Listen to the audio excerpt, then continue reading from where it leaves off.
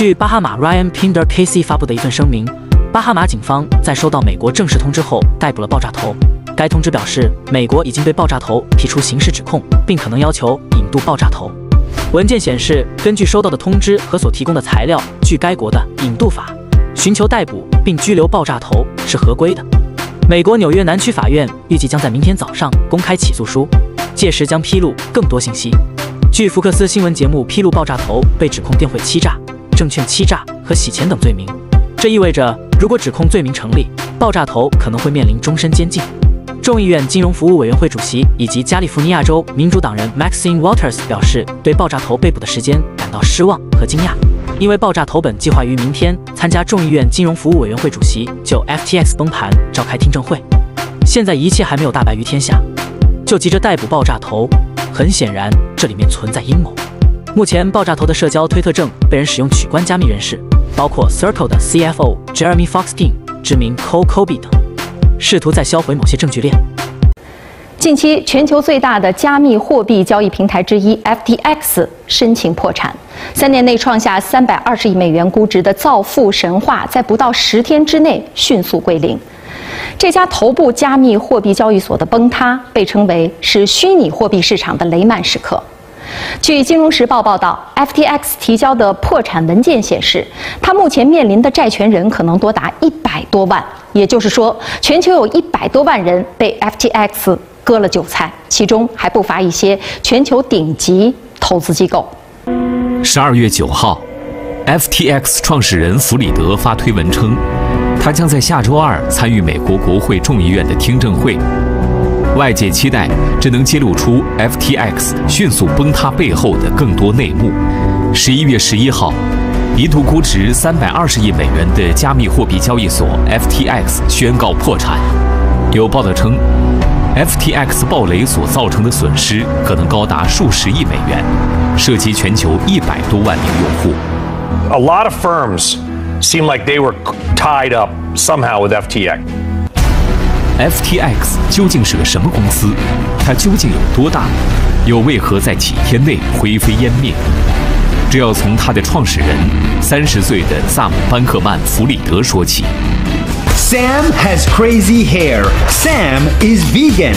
Sam sleeps five hours a night. Sam lives in the Bahamas with 10 roommates. Sam is 29 years old only, but Sam has $22 billion. And he wants to donate all of it to charity. 一九九二年，萨姆·班克曼·弗里德出生于美国加州一个犹太知识分子家庭。 父母都是斯坦福大学法学教授。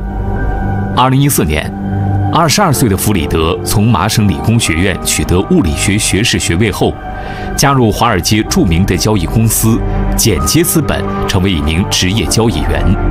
三年后的二零一七年，二十五岁的弗里德和室友一起创业，建立了阿拉米达研究，这是一家做市商，也是一个加密货币对冲基金。二零一八年，弗里德注意到，在不同国家，比特币的价格并不相同，于是他的团队开始在美国和日本之间进行比特币套利交易。具体操作是，在美国以较低价格购买比特币后，转卖到日本的交易所，利用市场间的差距获利。You know, Bitcoin is trading at ten thousand dollars on a U.S. exchange, eleven thousand on a Japanese exchange. You take ten million dollars, you you buy at ten thousand, you sell at eleven thousand, you make a million dollars, and we were able to do that every weekday. So every weekday you made a million dollars in profit just from doing that. That's right. 凭借这种方式，他的阿拉米达研究仅用数月时间就成长为世界最大的虚拟货币对冲基金。 二零一九年，弗里德又联合几位投资人成立加密货币交易所 FTX。后来，弗里德把两家公司总部都搬到了有“避税天堂”之称的巴哈马。FTX is a cryptocurrency exchange. It's a place that you would go to buy and sell Bitcoin and other digital assets. 弗里德中间名字 Bankman 直译为银行家，加之他出身华尔街，这使他创立的阿拉米达研究和 FTX，除了虚拟货币的极客属性外，也散发着强烈的资本气息。you know, we'd raised a few billion dollars over the course of the last uh, last couple of years, and we're profitable business. 据报道，二零二一年七月，FTX 的一百万用户平均每天交易量为一百亿美元。不仅如此，加州大学伯克利分校一个体育场以 FTX 命名，FTX 与金州勇士队和梅赛德斯 F1 车队建立广告合作伙伴关系。他们在迈阿密还有一个以 FTX 命名的 NBA 体育场，FTX 甚至成为了世界经济论坛的合作伙伴。FTX 的投资几乎渗透到加密货币领域的各个角落，还发行了自己的虚拟货币，名为 FTTB。FTTB 的总市值也一度超千亿美元。二零二一年。弗里德作为最富有的三十岁以下年轻人，登上福布斯杂志的封面。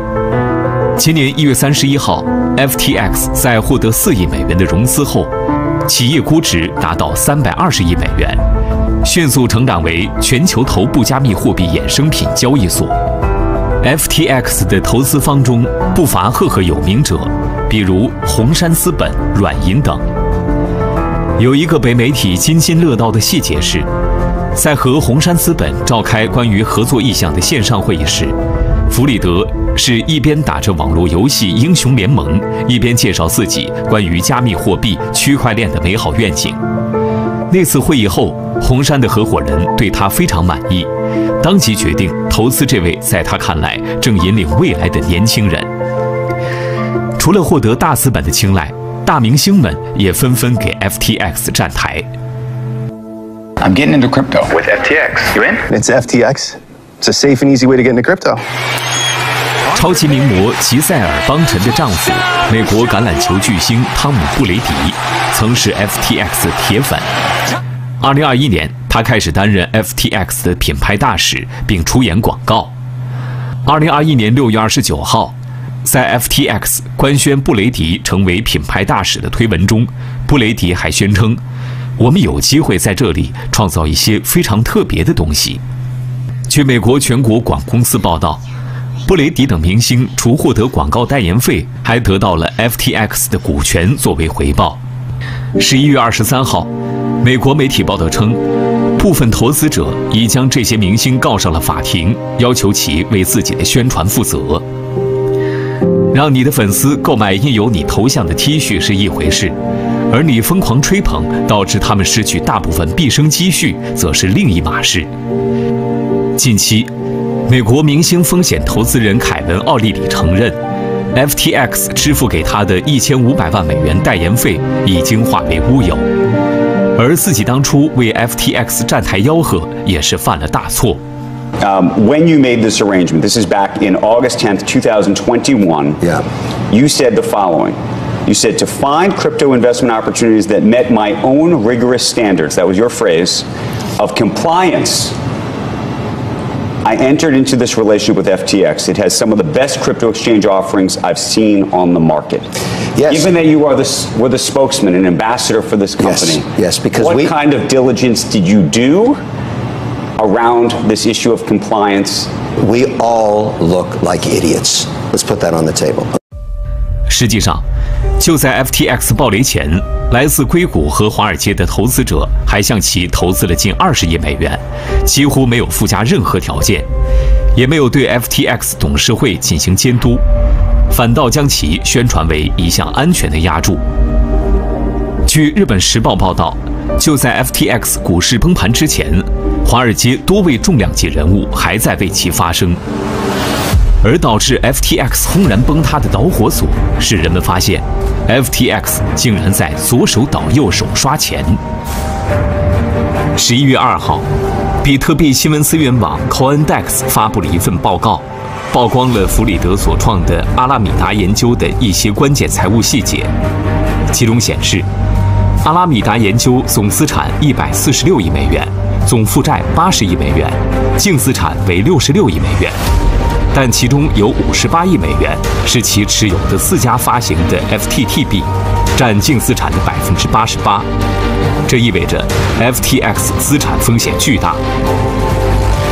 今年九月，弗里德曾表示阿拉米达研究与 FTX 是完全没有关联的两家公司。然而，就在 FTX 崩盘前几周，有媒体逐渐挖掘出两者之间的密切关系。加密货币研究机构阿克汉姆发现，阿拉米达研究超过一半存款与取款量都是通过 FTX 平台，这意味着弗里德可以用阿拉米达研究在 FTX 坐庄，收割 FTX 用户的韭菜。Right, you rewind to 2019, 2020, FTX didn't have bank accounts. And that was because as a global crypto exchange at the time, almost none of them were able to get, you know, global banking. Some customers still wanted to onboard fiat currencies though. You know, FTX was maintaining cryptocurrency wallets, um, but not, not banking uh, accounts. And so some of them would wire money to Alameda um, and then ask to be credited on their FTX account. 据《华尔街日报》报道，FTX 把数十亿的客户资金借给了阿拉米达研究， 这成了 FTX 走向崩溃的关键。How much of this customer money was wired to the Alameda bank accounts? I don't have the numbers in front of me, but my estimation is I think more than half. More than half? More than half of Alameda's total position came via that method. 据美国全国广公司报道，阿拉米达研究通过这种方式从 FTX 获得了一百亿美元的用户资金。 FTX 还允许用户进行一项风险很高的交易，名为保证金交易，也就是用户可以贷款进行更大的交易。而阿拉米达研究则是一个巨大的借贷平台。Do you expect to go to prison? I'm not focusing on that right now. I don't think I, I, you know, tried to commit fraud anywhere here. I was trying to do the best I could. Obviously, that wasn't nearly as good as I thought it was. 值得注意的是，FTX 申请破产后，接管该案件的律师表示，弗里德故意在公司决策过程中使用月后即焚的通讯平台，令事后追责颇为艰难。阿拉米达研究的前首席执行官埃里森和弗里德一样，都是学二代，两人还曾经交往过。他本科毕业于斯坦福大学数学系，父亲是麻省理工学院的经济学教授。虽然是学霸，但没有任何加密货币行业的管理经验。 Yeah, absolutely could pull it off without my math degree. use very little math. Um, use a lot of like uh, elementary school math. Being comfortable with risk is very important. Um, we tend not to have things like stop losses. I think those aren't necessarily a great risk management tool. trying to think of a good example of a trade where I've lost a ton of money. Um, well, I don't know. I probably don't want to go into specifics too much with that. 而 FTX 新上任的首席执行官约翰雷表示，从未见过任何企业管理如此失败、核心财务信息如此缺失的公司，将萨姆等前领导层描述为一小撮无知、没有经验的人。财富杂志则在报道中说，弗里德的帝国由一群互相约会过的孩子在经营。FTX was not regulated. I've been in this space for 35 years. I don't know what he's talking about. There's no oversight, no consumer protections, no net capital requirements, no, licensure. FTX 申请破产后，世界首富马斯克在推特称，弗里德长期以来都没有被调查，是因为他是民主党的大金主。英国金融时报也报道称，弗里德的倒台切断了美国民主党的大笔资金来源。二零一八年，弗里德的母亲芭芭拉·弗里德创立并领导了政治行动委员会“小心空隙”，其使命是从硅谷筹钱来捐给民主党。根据公开的信息，该组织在二零一八年从八百多名硅谷高管处成功募得两千万美元资助民主党的众议院候选人。而据《华尔街日报》报道，二零二零年。弗里德向拜登的总统竞选活动捐赠五百二十万美元，仅次于前纽约市长布隆伯格。在今年的中期选举中，弗里德则花费近四千万美元支持民主党，成为最大捐献者之一。而他所支持的二十五名候选人中，已有十八人当选。对于这笔政治现金，美国医疗保健人工智能平台 SISIO 首席执行官曼尼迪斯发推特称，弗里德捐出四千万美元，以避免因盗窃一百多亿美元而入狱，这是有史以来投资回报率最高的交易之一。两天后，推特首席执行官马斯克留言称，这只是公开披露的数字。他对民主党选举的实际支持可能超过十亿美元，钱去了某个地方，那他去哪儿了？今年四月，FTX 在巴哈马主办加密巴哈马活动，受邀嘉宾包括美国前总统克林顿、英国前首相布莱尔。活动期间，弗里德还和克林顿与布莱尔同台进行小组讨论。据行业媒体报道。克林顿的言论没有被记录在案，但一段泄露的录音显示，他表示要主张采取不伤害的方式监管加密货币。弗里德充分利用美国政商旋转门，聘请了很多前政府官员担任公司顾问，其中 FTX 美国分支的总法律顾问和政策和监管战略主管。曾分别担任美国商品期货交易委员会主席的法律顾问和副手，在金融监管圈人脉甚广。在我印象里，他到国会山游说政客的次数，比我知道的任何产业中的任何 CEO 都多。甚至到 FTX 破产后，弗里德苦心经营的关系网仍在发挥作用。近几日。好几家自由派主流媒体都在用春秋笔法，从各种角度替弗里德辩解和开脱。《纽约时报》的报道全文中没有一处提到欺诈、骗局、偷盗、违法犯罪等字眼，而是将弗里德描述成了一个因商业扩张速度过快，没有看到警示信号，犯下无心之过的莽撞年轻人。更令人惊讶的是。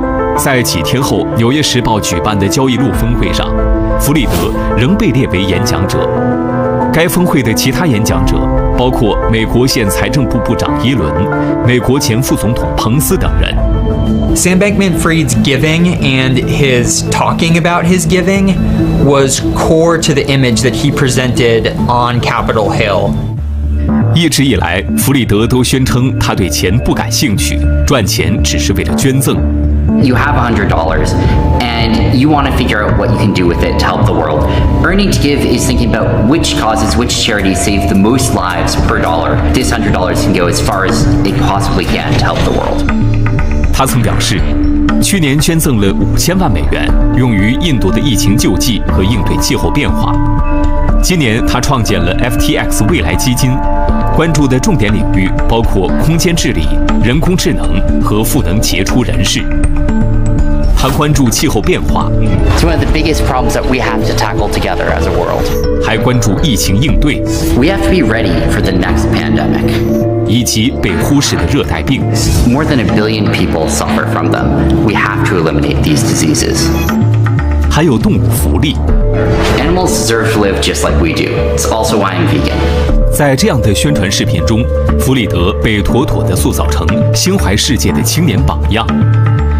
今年十月，弗里德在接受《纽约时报》采访时还表示，计划在未来十到二十年内将其绝大部分财富捐献给有效利他主义事业。